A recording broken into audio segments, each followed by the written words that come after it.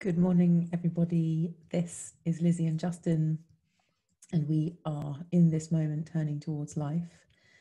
This is our unrehearsed conversation for this week, and we are almost, I think, three years into this, Justin. I can feel the kind of autumn being the three year mark somehow, and it's quite something to be doing this in spite of whatever else is happening in our lives and continuing. And this morning, I feel particularly appreciative of the of of what it takes just to orient our weekends and our everydayness around this. And it's such a joy and such a a lovely thing for each of us also i think justin to receive the source that each of us posts on the friday certainly for me this week receiving this and seeing how it, even though I didn't choose it, has dovetailed into my feeling and thinking and reflecting this week. And so I really feel the connection as well and the the openness that each of us has to the sources each each other brings. And it's really beautiful. This this source by Mark Nepo. So I'm grateful that we're all here. I'm grateful for our community and for all of the ways that you interact with each other if you're listening and reflecting on this, and also interacting with us if you make comments or anything like that or reviews on Spotify or whatever. It just feels like it's building. And again, this week happened, Justin, that I saw somebody who said that they were listening to us. And of course, I never met him, I don't know him. And I was introduced to him by a friend. And he said, "Oh, oh, oh, you're you're Lizzie from Turning Towards Life," and I kind of I'm always shocked because I think there's something about doing things virtually that part of me doesn't really believe this goes anywhere or anyone else sees it. It's just us sitting here because in my body, that's all I can see is you. And so it's such a joy to feel the effect that this is having on people and for people to tell me when I meet them what it's like to listen to us. And I feel like uh, like it's a process also to receive the gift back of how it is for people to be in this conversation with us. And I, I, I mostly feel disbelief and kind of shock that anyone's even listening. And I think that's because it's a virtual space and it just feels like you and I, which is also what makes it beautiful. So I'm just appreciative of all the all of you who I haven't met and who are listening and how generous it is for you to be here and to to listen in the way that you do and then if I occasionally meet one of you and you say what you say, it's like somehow a like a validation of us doing this, which is really important. And I'm really grateful that that happens. And you're very welcome. You know, I want to just say to everybody, you're very welcome. And we are so grateful that you're here. And it gives us a, a very, very supportive structure to to be in a practice, which is really hard to keep doing something again and again. But this doesn't feel hard because we're, we're I feel so supported in doing it, and one and meeting one person kind of keeps me going for like you know ever. So I'm really grateful for that. I'm really grateful for this source, Justin, as well. Mm. Well, you know, Lizzie, I um, I really echo everything that you've just said about what it is to have anybody who listens and who is part of this conversation. And it, it's striking me, I'm just adjusting a little shade for my camera here.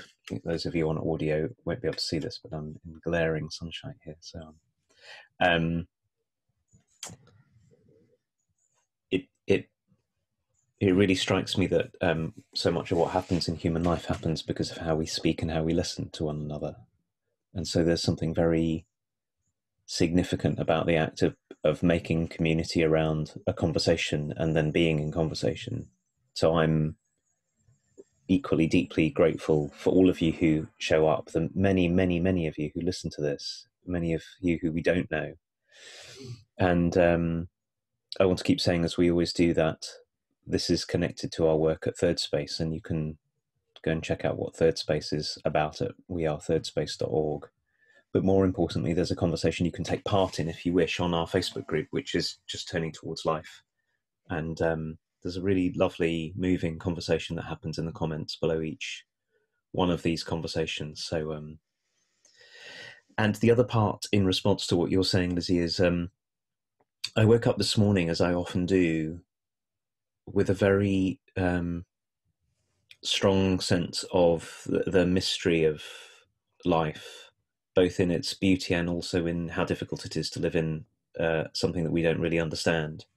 And uh, part of the feeling I had this morning when I woke up was I don't really understand what I do. I don't understand.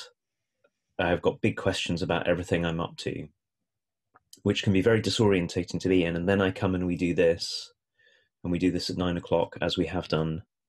This is our 152nd, nine o'clock on a Sunday. And whilst we do this, I know what I'm here for. Like, there's nothing, there's nowhere else to be, and there's nothing else to do. There is this for its own sake, not because it will make fame or money or a big name or because it will change the world. None of those things, but because the conversation is of value, being with you is of value for its own sake, and that it touches anyone else just for that.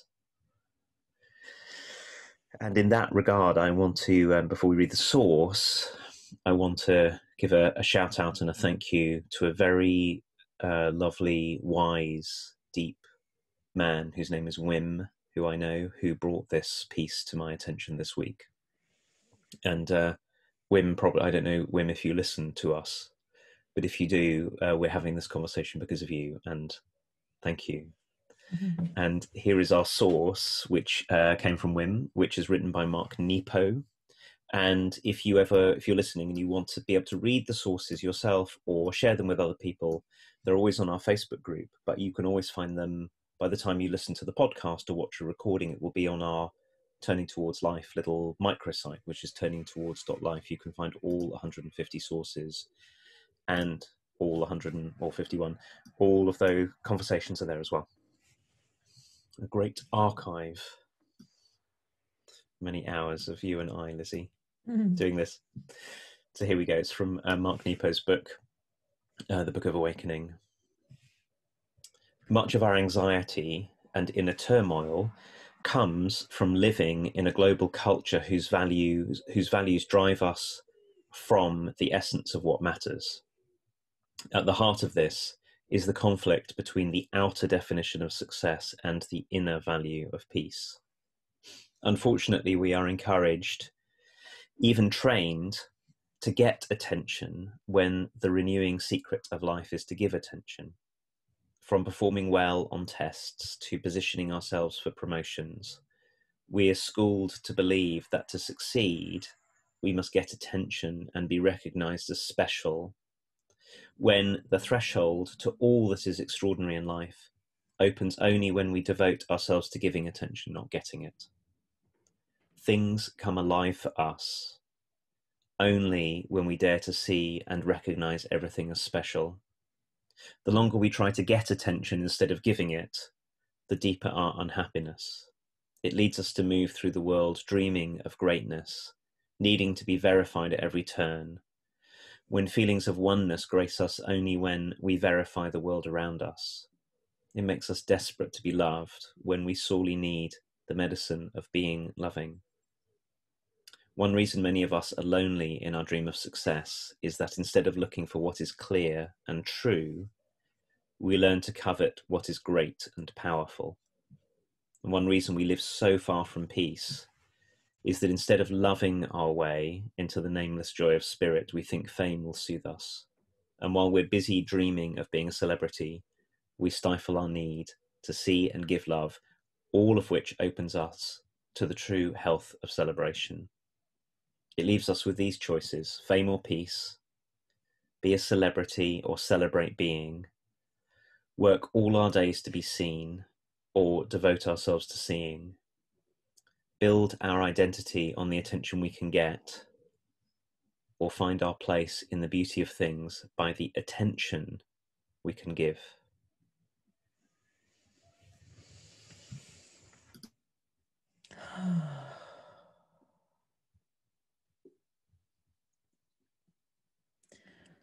One reason so many of us are lonely in our dream of success is that instead of looking for what is clear and true, we hmm. learn to covet what is great and powerful.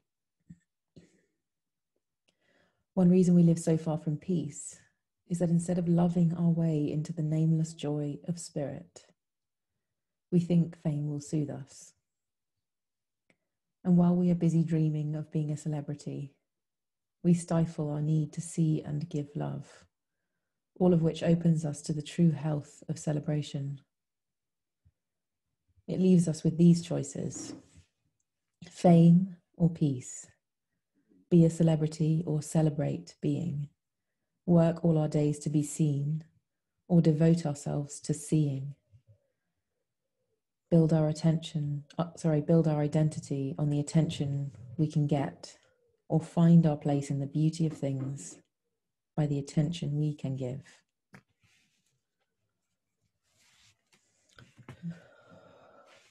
goodness I, i'm so pleased that mark nepo wrote about this because i think he's onto something lizzie that is so poisonous and so pernicious and so painful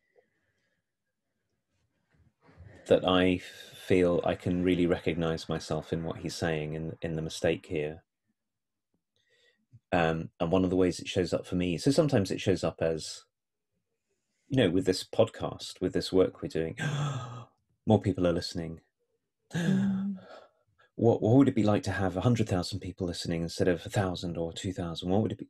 So that, and it in, in one way there's a kind of could be a generosity in that but i can feel the part of me that goes then we'll have made it you know then so i can really feel this in him in me and the other part of it that i'm feeling really touched by in hearing you reading is seeing how many different forms this takes. So some people you know some of us get into i'll be properly famous you know i'll be a celebrity and some of us get into i don't know i'll be properly rich or I'll have a house that people can marvel at or I'll have you know those will be our dreams all of which take us away from ourselves in the way that Mark Nepo says.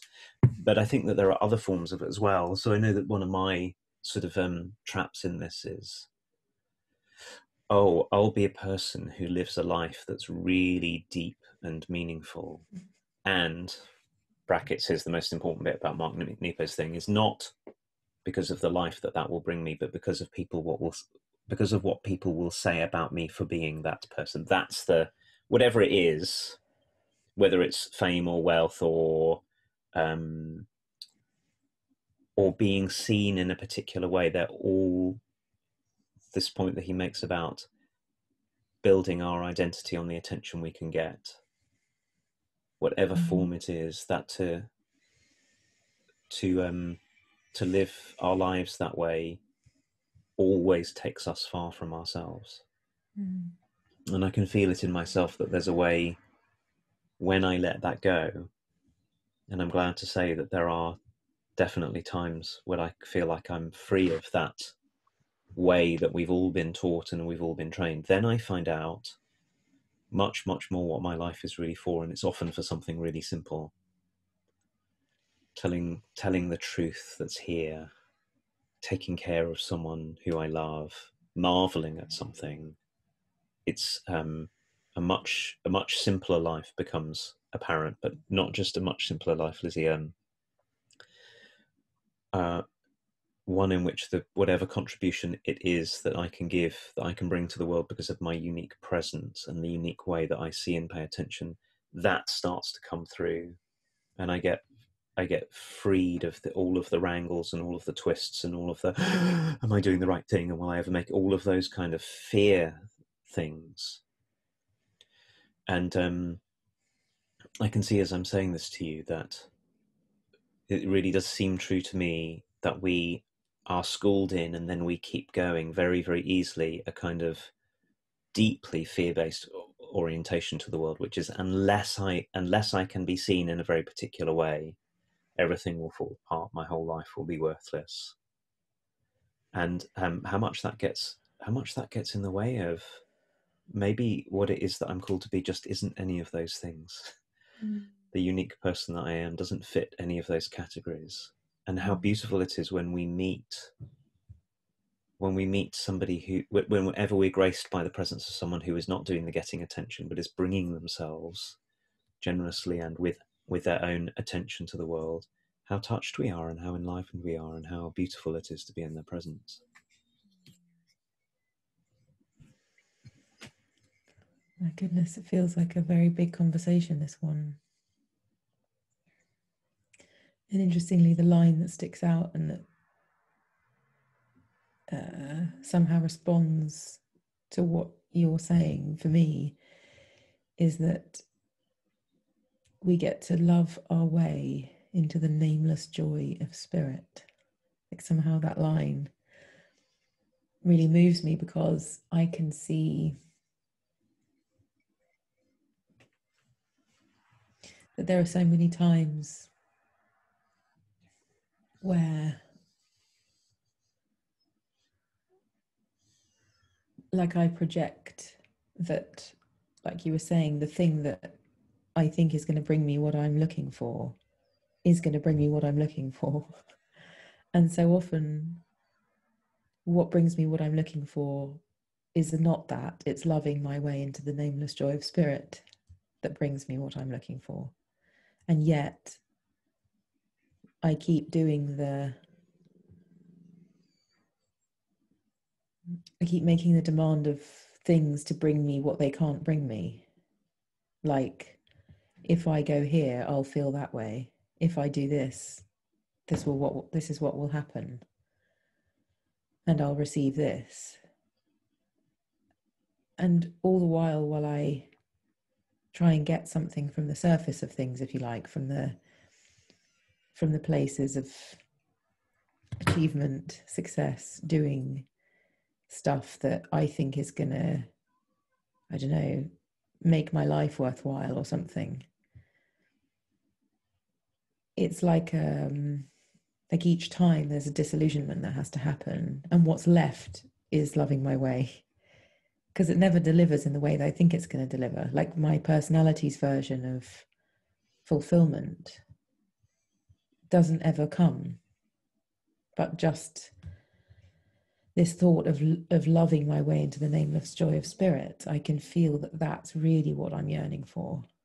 So my question in all of this is you know how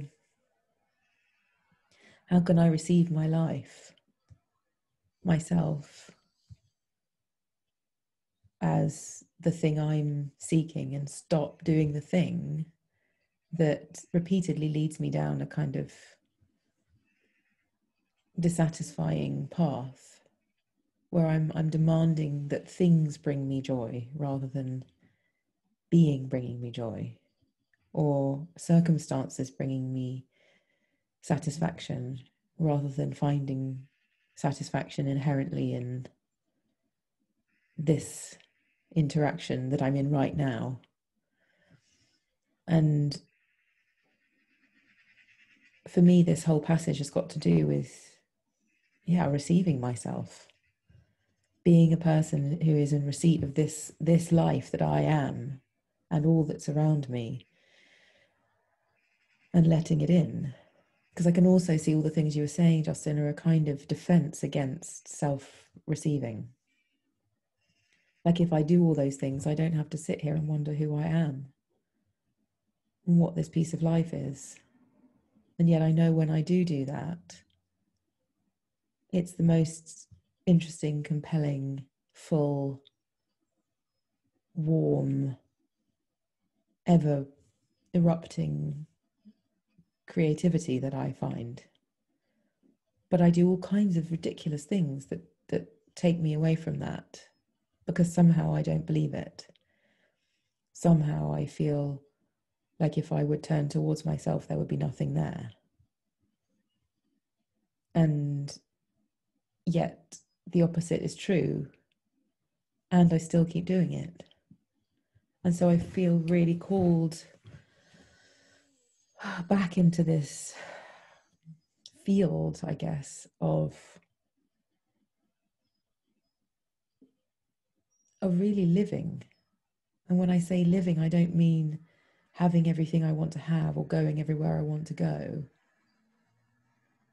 But I really mean letting letting here be letting here have my attention letting what's arising have my full warm interested curious heart turned towards it and really being with this tree and this sunlight and the feeling of the grass beneath my feet, for example. And I feel so grateful for the kind of gentle writing that this is that doesn't shame us for fantasizing about 50,000 followers or something, or whatever the the destination we might be lured into thinking would make us feel whole, but that gently invites us into poetic language to describe what it is to be here, to be in this body in this moment now, and to let life live us.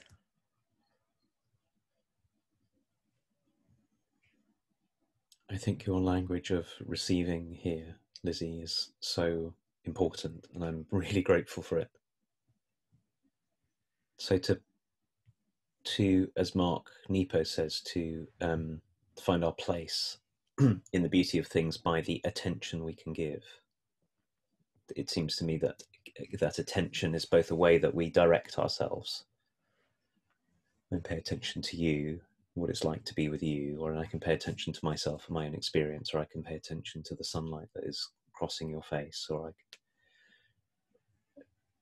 And that to give attention is also to receive. To attend is a way of opening ourselves. You can't attend in that way without receiving. I don't know what it would be to give attention without. But uh, why I'm making a big deal of it is I I um I don't think that receiving for most of us is part of our culture. Mm. I think that we have a a sort of very sort of ground level, like right from the start, right from the get go in our lives, we have a a model of what it is to be a human that is to do with our what we will do in the world to to to um, attain or to get or to uh, achieve or to be noticed all of which have their place, right? So the acting in the world, of course, really matters. But the the thing that I can feel from what you said is we make that the definition of being a human. What are you going to do? How are you going to get noticed? Mm. Not this absolutely fundamental, exquisite, and necessary part of aspect of being a human, which is that we are in receipt. Mm we're in receipt of our lives, like you said. We're it's it's a really radical and beautiful notion to see that we're in receipt of we are in receipt of our own lives. Mm. There is a life that arises here uniquely in this body and in these relationships and in this circumstance that comes through right here. Will I will I receive it? Mm. And then there's the receipt of one another. Can I receive your presence? And can I receive the presence of the desk that I'm sitting at and the house that I'm in and the somehow I think that we've somehow I think that we've made receiving in our highly fast moving, progress oriented, grasping, fearful culture, we've made receiving something to be frightened of or something to turn away from. Mm. And when we learn to receive, it's also true that we end up very easily being way more generous. Like if we can receive the love that comes through us, we can give it. And if we receive the words that come through us, we can gift them. Mm-hmm. And if mm-hmm. we receive the wonder that we experience, we can share it. So, so really, life life only comes through us in that way with its sort of deep generosity to the extent that we're prepared to be in receipt of that which is coming through us and that's the thing that i think is is missing we don't we don't so easily see ourselves as sort of um a conduit or a place through which life flows. We see ourselves much more as separate. I don't mm-hmm. know, separate atoms that have to somehow claw our way through the world. And that yes. produces all of this. And I was really moved by it. I was thinking, God, you know, that, oh, what it is just now talking to you to receive you without having to do anything to have you or this conversation be a different way mm-hmm. and to receive me me to receive me just as i am without this conversation having to be or my experience having to be any other way and something is born that feels like love to me mm. yeah and what's arising for me as you say that justin is the i could feel my this word efforting popping up. You know, all the times I'm trying to give or trying to get. You know, those two two sides of the same coin. And then from what you're saying, I get this curiosity of, well, if I put both of those things down, what arises is really different. So, all the ways that I try, all the ways that I do my best to kind of generate things, there's a kind of pushing, whether I'm trying to get something or whether I'm trying to give something. There's a kind of pushing in that, a kind of forcing somehow. And I'm feeling this invitation to notice my efforting, either when I'm trying to get or trying to give and see whether I can step into the third place in that, which feels to me in this moment like just letting all of that go for a minute and stopping and seeing it and, no- and no- noticing what it's like in my body as well. I often feel like a like a pressure from the inside in my chest that, that's pushing me through life that's telling me I have to do more, I have to be more, I have to get more done, or I have to achieve more, or be in some different place than I am right now. And in my body, it comes as a kind of pushing from the inside of my chest. I often get that when I'm driving, like I should be going faster, I should be getting there quicker, I should be, this journey should be more efficient or something and I can feel the relief as you were just talking there, Justin, of like, oh, I actually have a choice to put that down. And it will arise again, and I can gently see it and take a breath and pay attention even to that pushing and then as I bring my attention to the pushing, and it's not just a sleepless pushing, pushing me along, but I, my attention can reside there for a little while and I can breathe into it. I have an option of receiving my life in that moment. I have an option of letting in whatever is here, which in the pushing, I'm not even seeing or feeling what's here. I'm, I'm away with the fairies or out to lunch or whatever the saying is but like i'm i'm definitely not in receipt of my life in those moments where i'm pushing my way through because i'm trying to give or i'm trying to get or i'm trying to achieve or i'm trying to essentially i'm trying to be somewhere else i can see that in this moment like there's something inherently dissatisfied that's having me do that but the dissatisfaction when I really turn inwards doesn't actually exist. It's like a, it's like a fake thing that's pushing me to push. And so I feel very grateful for the reflection time and the the turning towards these questions of seeking and being culturally turned towards power and greatness. It's so ingrained. And it comes out in all the ways that you were talking about at the beginning of this conversation, Justin. And when those things are named, all those versions of power and greatness, I get to be more aware of them when they arise and have a choice as to whether I pursue those well worn, deadening avenues for me, or I can choose to take a breath and let life be here and live me now.